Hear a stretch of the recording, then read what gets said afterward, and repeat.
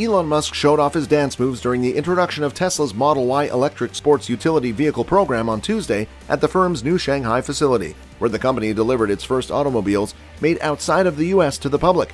This is an example of a modal window. On Tuesday, the world's largest electric vehicle manufacturer launched its factory outside of Berlin, handing over the first 30 Model Ys to customers in front of German Chancellor Olaf Scholz. Elon Musk, Tesla's CEO, kept his promise to dance, like he did when the company's Shanghai facility debuted two years ago. Tesla's stock gained for the sixth day in a row, rising as much as 6.8% to $984, bringing the company's market worth back beyond $1 trillion.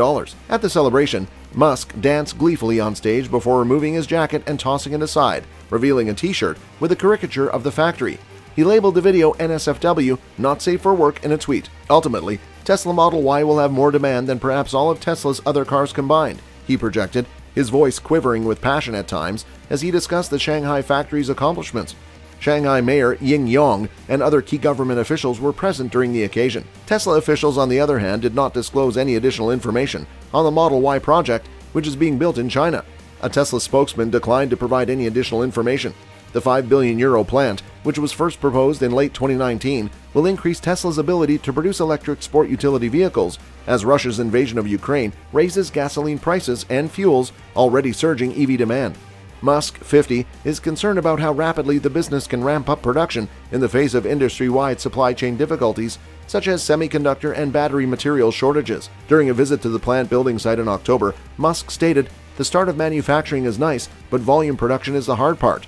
Tesla's goal, he claimed at the time, was to produce 5,000 to 10,000 vehicles each week by the end of the year. The factory start of Model Y deliveries is the result of a surprise announcement Musk made more than two years ago when accepting an award at a ceremony attended by the CEOs of BMW AG, Volkswagen AG, and Audi. Tesla has hired almost 3,000 workers in Germany's automotive heartland, and vehicles are currently flowing off the assembly line. Tesla claimed in an emailed statement that the figure will rise by a few thousand in the coming months.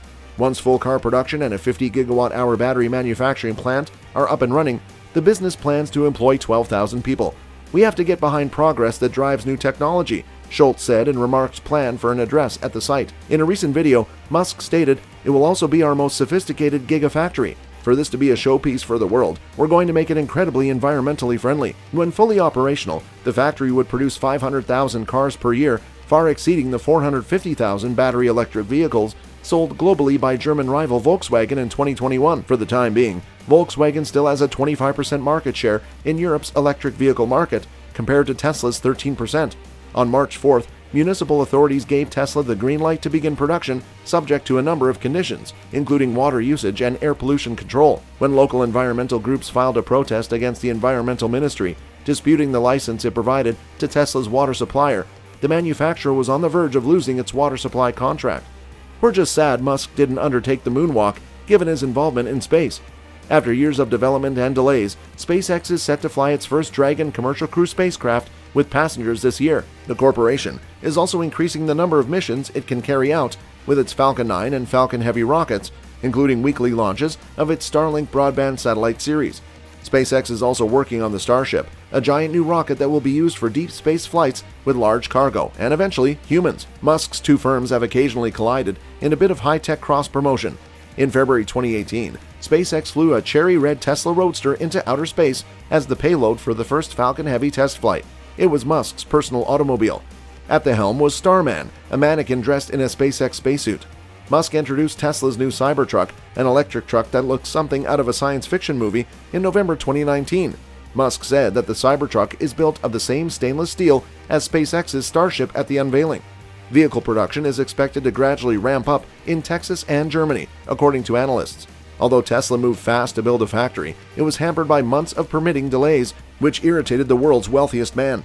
Activists contesting the tree clearing that preceded construction and the consequences the facility will have on animals and the water supply were among the concerns raised at the site. The latter issue might linger and affect Musk's growth plans, with the local water authority warning last week that more extraction permits are required for further development. Musk is really something. There's no doubt it's why Tesla is where it is right now. This brings us to the end of our video. Thanks for watching. Bye.